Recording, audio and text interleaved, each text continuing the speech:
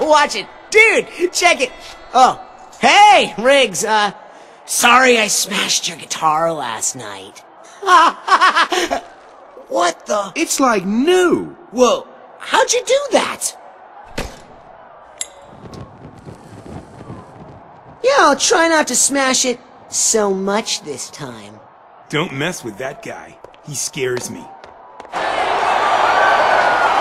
Hey, Eddie, man. I hate to ask, but our manager wanted to know. When are you gonna build us, like, a new set? This Stonehenge stuff was funny in a kind of ironic retro sort of way, but... Look, Eddie, don't get me wrong. You're the best, okay? The greatest roadie in the biz.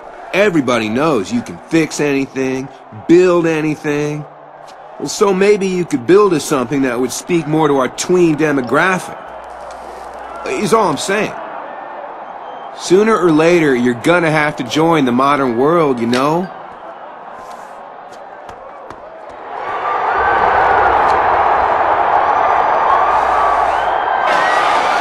All right!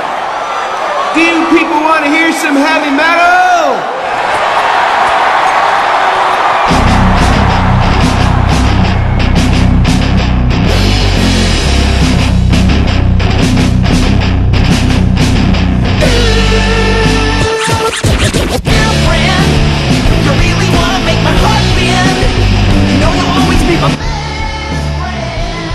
Fix anything.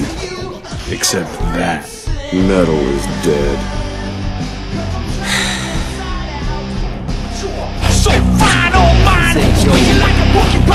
Say what? You ever feel like you were born in the wrong time?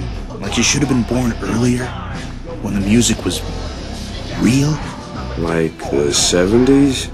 Earlier. Like the early 70s. Uh-oh. I told you not to climb on that, you stupid mother fucking piece of shit! You can't Please let him fall. Damn it!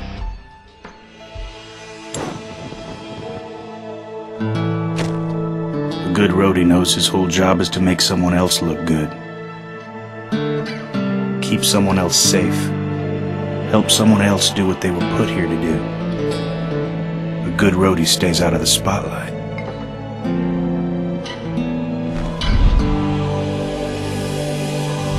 If he's doing his job right, you don't even know he's there. Once in a while, he might step on stage just to fix a problem, to set something right. But then before you even realize he was there, or what he did, he's gone.